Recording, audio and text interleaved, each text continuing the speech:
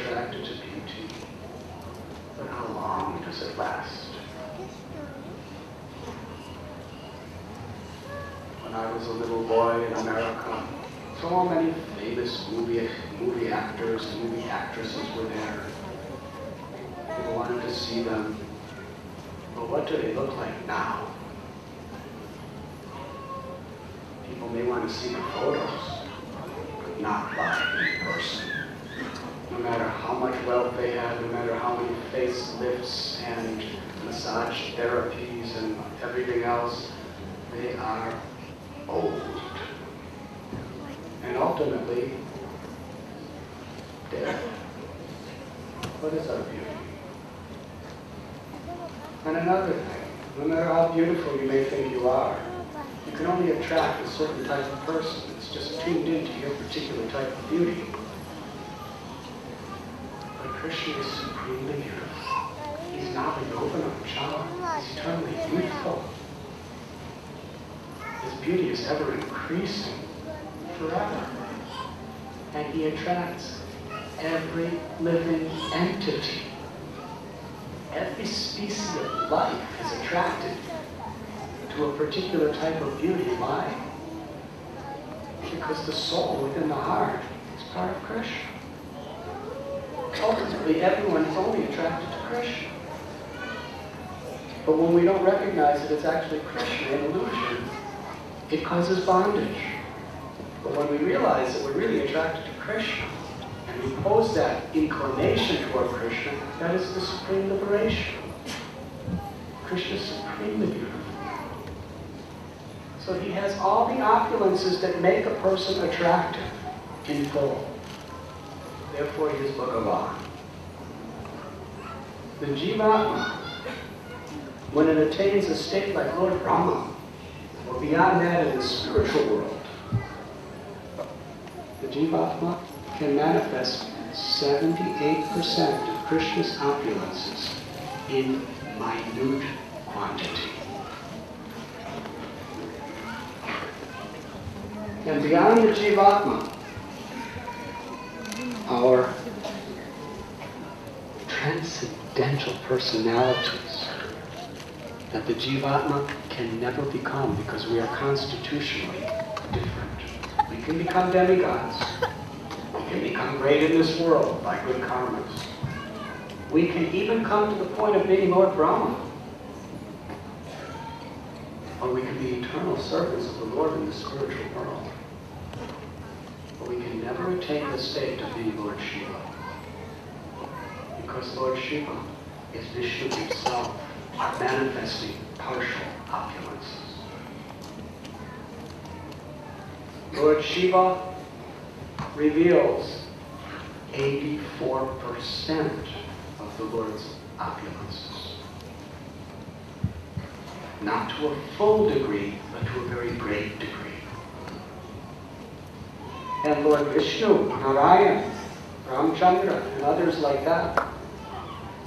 Lord Narayan manifests 94% of the opulences of the Absolute Truth in full, in total. But the son of Nanda, Krishna, who resides eternally in Goloka, the highest planet in the spiritual world, is eternally manifesting 100% of all opulences full.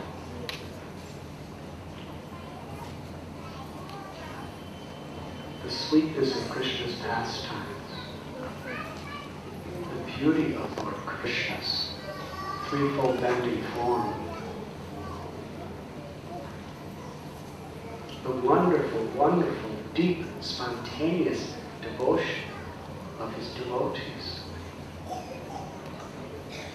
And the absolutely enchanting song of Krishna's flute is unique only to Krishna. In Vaikuntha, the land of Lord Narayan, it is a perfect spiritual world that is eternally beyond material iniquities. It is Haridham. There everything is Satchidananda. It is Aishwarya It is the place where the Lord manifests His supreme majesty as the all-powerful God of all gods. But by the Lord's own sweet will, He reveals an abode even higher than that. And that is Krishna Loka. That we various names.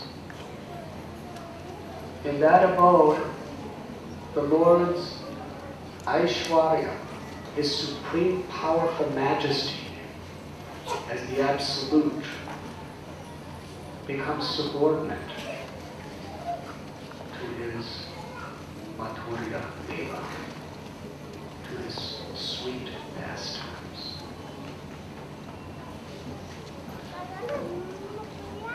That Madhurya Dham is so very special. Because in order to have deeper, more intimate experience of love with God, the Lord, by his yoga maya potency or his lila shakti, he covers his supreme majesty so that we can intimately love him as a friend, as a parent, or as a lover.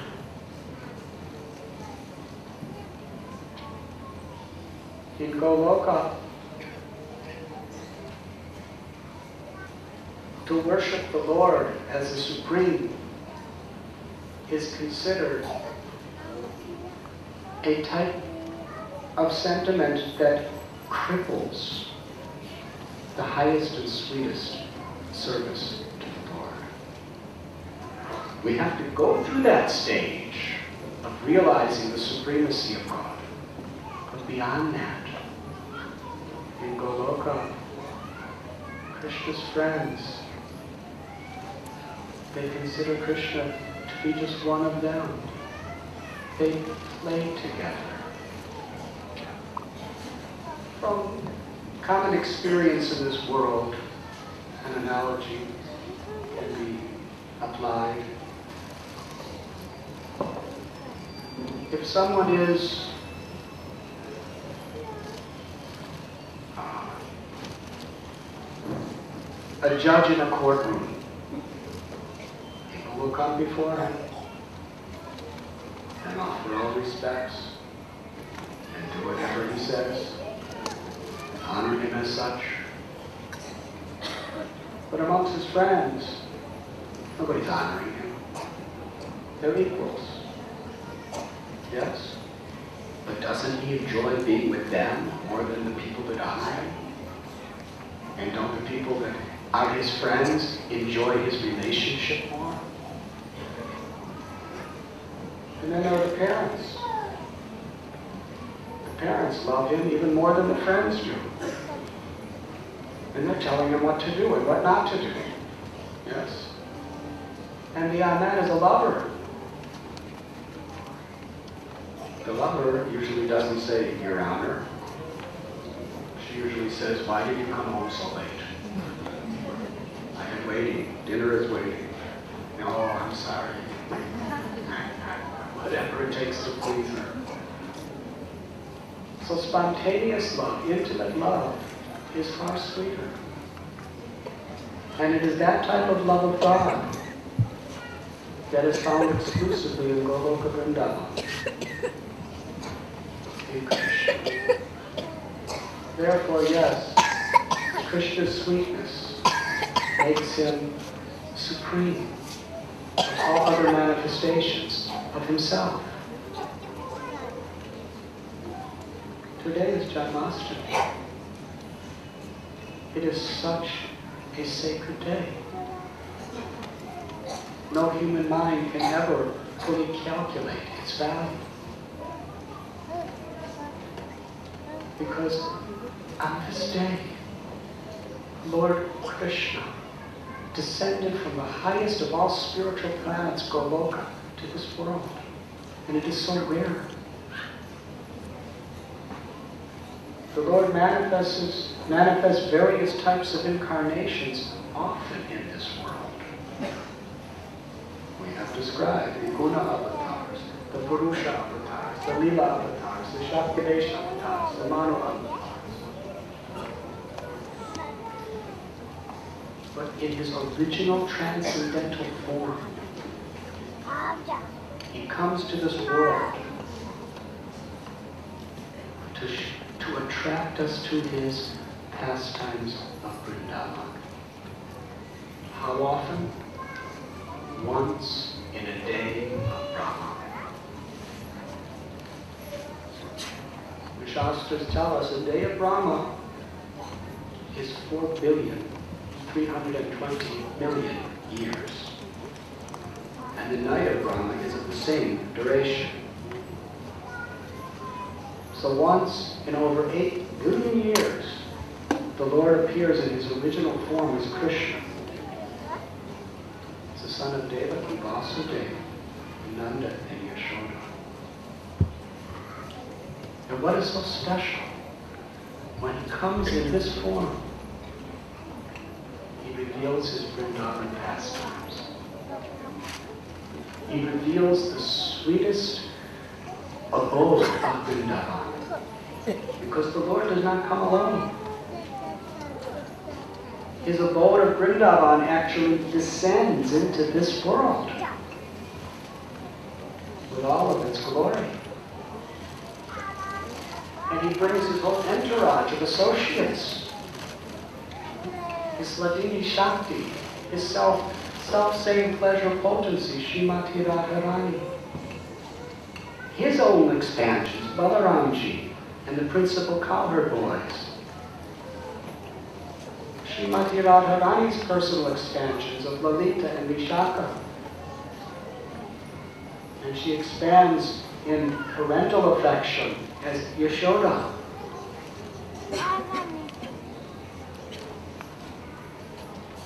These are the very personalities that are exchanging the most intimate, sweetest lila with the Lord in the spiritual world, and they're all coming here to this world. Why? This little tiny speck of an earth planet. Unbelievable. If you're really an important person, why would you take so serious one little speck of a place? Yes, considering the spiritual world, within this material existence, which is outside of the spiritual world, there are unlimited universes. And amongst and within each and every one of these universes, there are unlimited planets within the 14 planetary systems. And this Earth is just a tiny little speck within a universe, which is just a tiny little speck within the galaxies of universes. But yet Krishna personally brings his eternal abode with his most intimate, loving associates here. Krishna appeared just at the end of the Dwapar Yuga. Prabhupada said only 5,000 years ago. Some others think 5,000 years is a long time ago. It's practically prehistoric by our calculation. But considering comes only once every 8 billion plus years, 5,000 years, is like a few minutes ago. That day that he appeared, how glorious. He comes to shower the supreme blessings on all living beings. He comes to attract our hearts back to his eternal loving service. Yes. Krishna simultaneously appeared in Mathura and Gokul Vrindavan. On this day, in the prison cell of Kamsa, Vasudeva and Devaki, who had proven their devotion through so many trials and tribulations,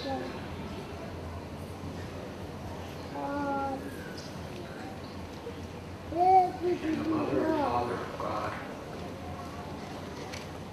He first appeared as Lord Narayan from the womb of Devaki, or actually from the heart of Devaki.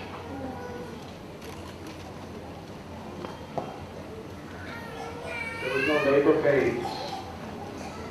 She was pregnant, and then the Lord, He can do anything. He just, He entered into her heart through the mind of her husband. There was not even physical contact. The Lord who has created all of existence can utilize any facility he wants according to his wish. And then when it was a very, very, very auspicious time of his desire, he simply appeared out, fully decorated with golden crown and beautiful ornaments, silken garments, flower garments. Anyone ever seen a baby come out of the womb with flower garments? Usually they have all kinds of other stuff around them. That is Krishna. But still, Vasudeva and Devaki, they had such parental affection for the Lord. Even though they knew he was the Lord, Devaki was still feeling, I am your mother. And if Kamsa sees you like that, then he'll know who you are and he may harm you. So please change your form and disguise yourself as a little baby. So Krishna became, well, what kind of baby? The Lord has all his potencies and all of his opulences in whatever form he takes. Vasudeva brought Krishna across the Yamuna to Vrindavan. A few days later, the great terrorist, murderous Putana, who made all the terrorists of this day today like insignificant fleas. She was really gruesome, cruel, and murderous. And she had mystical powers.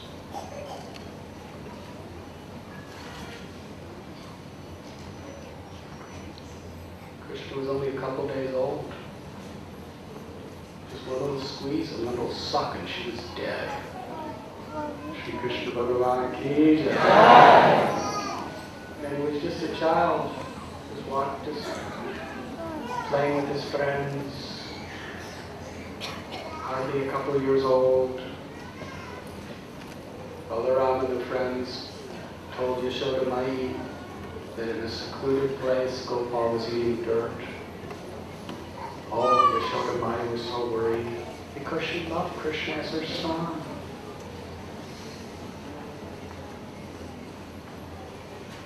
Gopal, why did you eat dirt? Don't you know you may get sick, you may die. I cannot allow this. I give you so many nice, nice preparations. Of ghee and milk and grains. Why do you eat dirt?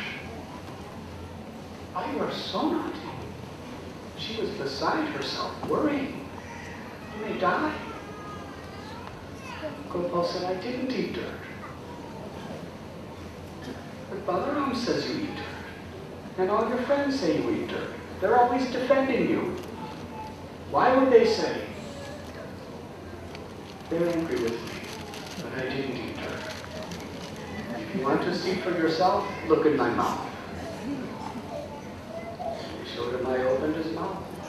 And she looked very carefully. Now, Gopal, so sweet, he actually did eat dirt. So you may say, did he lie? How could God lie? God cannot lie. God is the absolute truth. The absolute truth can never have any untruth. Yes? On the relative plane, there is truth and there is lie. But in the absolute truth, Krishna is all good. Whatever Krishna does is for the ultimate pleasure and welfare of all. Yes? He wanted to increase Yashodamai's ecstatic love. And he wanted to, to taste the nectar of the sweetness of her love. So he spoke like this. But then when she went to look at his mouth, what if she saw the dirt? Because the dirt was there in his mouth. So just to distract her from seeing the dirt, he manifested the entire creation within his mouth. Hare Krishna. She saw all the planets, all the mountains, the oceans, the seas, all living entities. She even saw all of Vrindavan. She even saw herself looking in Krishna's mouth. So when everything else is there, she really didn't take note of the dirt. But she was beside herself. What am I seeing? How is this possible? He's my little Gopal. All the planets, all the seas, all the oceans, all the mountains, all the beings, I'm seeing them all. She had folded hands. She was trembling, offering prayers. What's happening to me?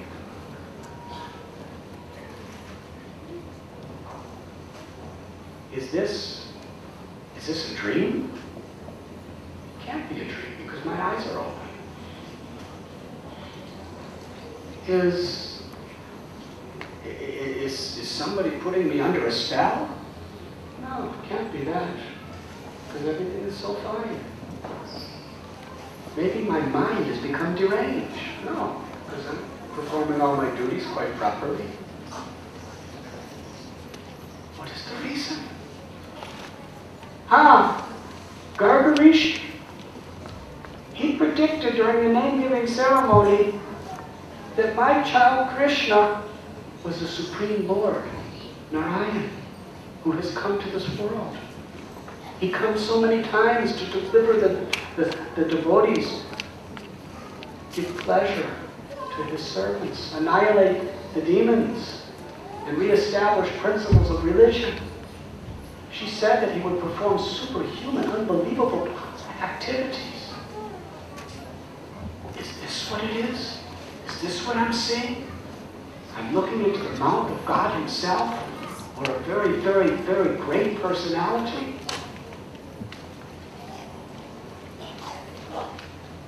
She thought about it for an instant and rejected it. Impossible. This Gargarishi, he can say what he likes, but he doesn't know. I know who is my Gopal. He can say anything. But when there's lightning, Gopal cries and runs to me, and unless I embrace him, he trembles in fear. And when my little Gopal is hungry, he cries for food. And he won't stop crying until I feed him the milk my. I know who my Gopal is, and my Gopal knows who I am. We know each other. We don't need Gargarishi to tell us who, who's who. He is simply my baby. That's all. And he can never be anything else.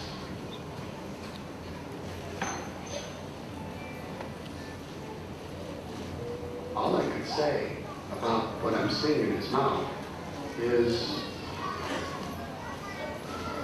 it just cannot be understood, that's all. And Gopal is my baby, and he's an ordinary child who needs me. And Krishna closed his mouth and smiled, and she completely forgot everything she saw. Why? Because her motherly affection became so uncontrollable that it totally covered the memory of what she just saw. And she fed Krishna the milk from her breast. This is Vrindavan. This is the Leela of Braj. And gopis, the supreme most devotees, people of India and throughout the world have too many misconceptions of the love between Krishna and gopis. It has nothing to do with the love of this world.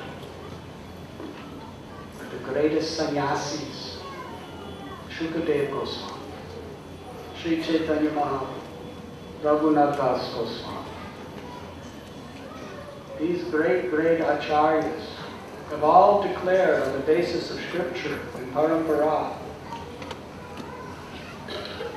that the purest, highest, most condensedly ecstatic love of God, of all liberated souls, is the sole property of the gopis of Vrindavan.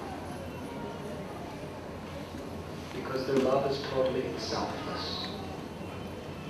Their love is exclusively for the pleasure of Krishna. And when you water the root of the tree, every, every part of the tree is nourished. To the degree we satisfy Krishna, to that degree we feel the highest happiness. The gopis, gopis of Braj give the maximum happiness to Krishna because of the purity and the sweetness of their love, the total surrender of their hearts. Therefore, there is no happiness that can even be compared to the love, to the happiness of gopis. Billions of times more intensified ecstasy of love of God than even to be found in the Vaikuntha planets. Yes, Lakshmi Devi, the highest consort of Vishnu in Vaikuntha, she to enjoy the Ras Leela with Krishna. She left Narayan to perform tapasya for that purpose. But she was not allowed in the Rasleela. This is in the Shastra. Why? Because she couldn't give up her feeling that I am the goddess of fortune. The gopis are churning butter, carrying cow dung on their heads. But their love for Krishna in their simplicity is so pure. Yes, the highest realm of spiritual love is the property of the residents of Vrindavan. And Janmashtami is the day when Krishna appears in this world reveal the love of those devotees and the beautiful pastimes and qualities that he possesses to attract the love of his devotees. When Krishna appears on Janmashtami, he actually makes available to all living beings entrance into Vrindavan.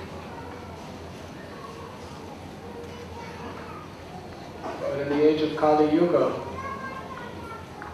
even though he reveals these pastimes and gives his message in Bhagavad Gita to attract our hearts,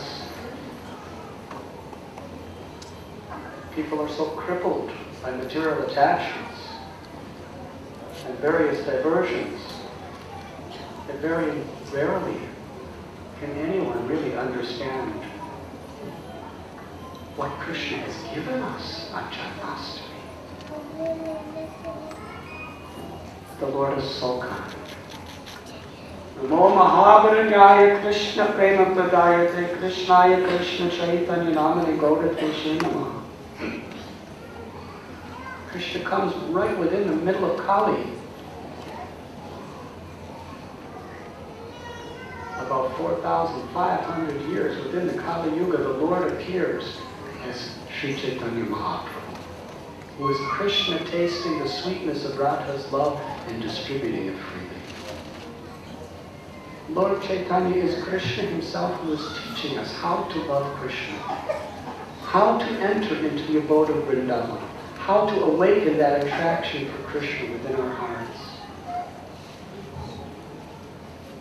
Through the practice of the Dharma. Nam Nama Kalipa Nija Sarvasha. Kali Kali Namarupe Krishna. That same Krishna has descended within this world in the form of the holy name. Golokera, Premadana, Harinam, Sankirtan. How wonderful. This Hare Krishna Mahamantra is not just an ordinary mantra to invoke auspiciousness in our lives. The Hare Krishna Mahamantra has descended from Goloka Vrindavan the entire abode of Vrindavan. All of the wonderful, loving devotees of Vrindavan. The beautiful forms of Radha and Krishna. The sweetness of the love of Radha and Krishna. The qualities of Radha and Krishna are all not different than that name. And by chanting the holy name of the Lord sincerely, with humility, and a nice service attitude, and following moral principles, it's very easy the name manifests Vrindavan within our hearts.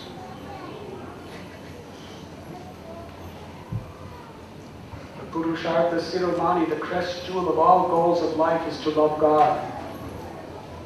Nityasiddha Krishna Prema Satya Kapuno Sravanadi Sudishiti Love of God is dormant within the heart of every living being. It is our nature, our essence. It's for God. But the chanting of God's name awakens that love. Yes, when Ramchandra appeared in this world, he killed the demon Ravana and Kumbhakarna with his bow and arrow. Lord Narasimhadev did it with his nails. Hiranyakashipu.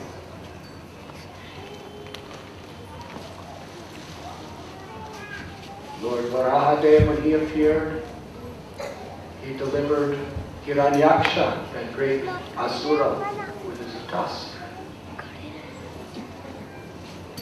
But that same personality, Krishna, when he appeared, utilized his Sudarshan chakra to liberate the asuras. But as Lord Chaitanya comes with the supreme of all his weapons, the weapon of the holy name. He doesn't kill anyone with his name. He kills the demoniac mentality within our hearts and awakens our divine nature. That is the power of the name. Yes, Krishna reveals his pastimes and we understand what is Vrindavan? What is the goal? What is the substance? But how to get there? It is simple. Lord Chaitanya taught. Just take shelter of this most joyful process of chanting the holy names. Hare Krishna. Hare Krishna. Krishna Krishna. Hare Hare. Hare Ram. Hare Ram. Kevala Ananda Kanda. Lord Chaitanya's process is so joyful.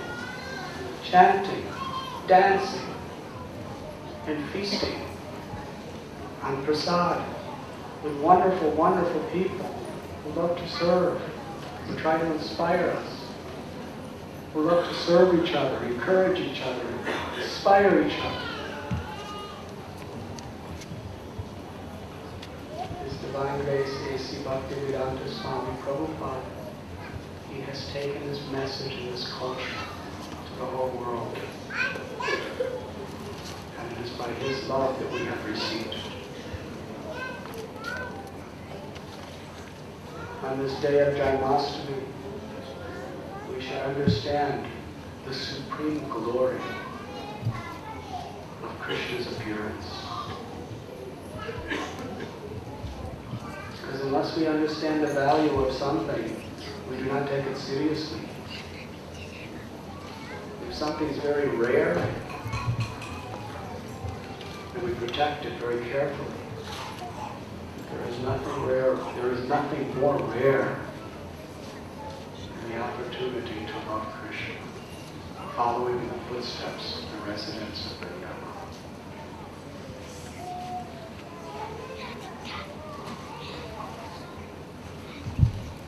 And Krishna is so kind that every year, on the particular tithi, or the day, which celebrates the event, is actually not different than the day of the event itself.